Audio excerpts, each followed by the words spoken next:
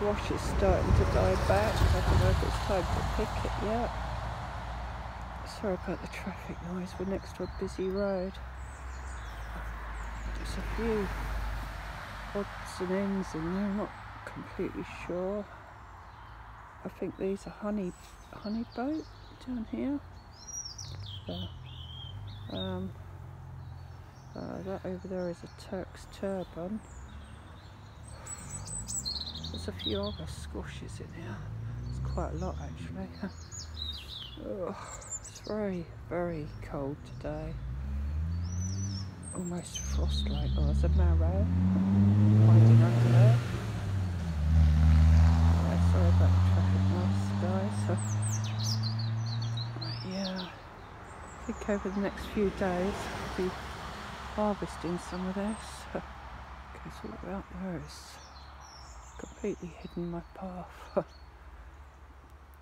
Got some pumpkins over here as well. Just dying back as well.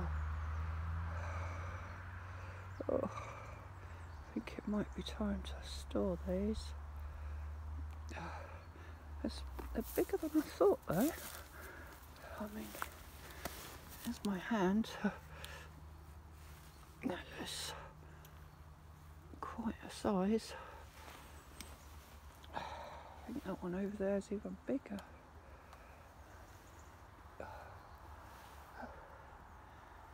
Even this little one is pretty big. Yes. But yeah, they're just growing in the field. I don't know how good this is. It's I've only got a cheap old telephone I'm recording on, so yeah. Time to start harvesting, I think. There's another one down there. Again, a fair size. Well, me and the tortoises are gonna enjoy these.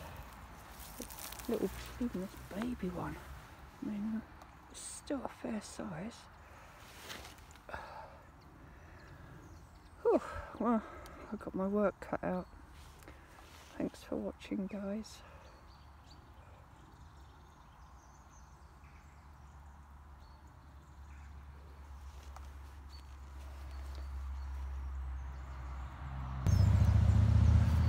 Oh well, let's have a walk round. See how many pumpkins have I got? I've got one, two, three, four, five, six, seven, eight, nine. That's not, oh, ten. That's pretty good. I think I only planted two plants in there.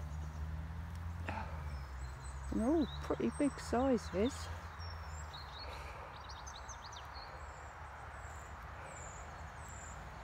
Hmm. Uh, no one knows how to turn this telephone off.